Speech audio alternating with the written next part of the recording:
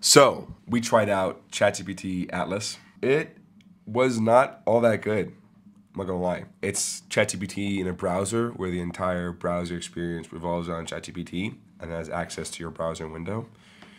It's not really all that different from the app, and with the only added disadvantage, I would say, that of course, if it has access to everything in your browser window, then that is a humongous security concern.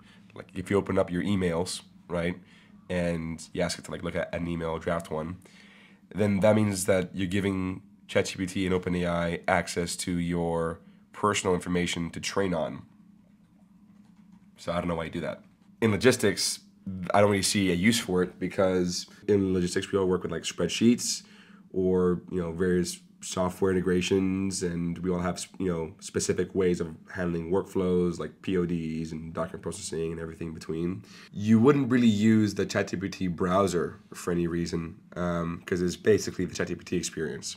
If AI doesn't understand your business, it's not really embedded into it, and you just sort of use it as a tack on as a browser, you're not really going to get much value uh, out of it.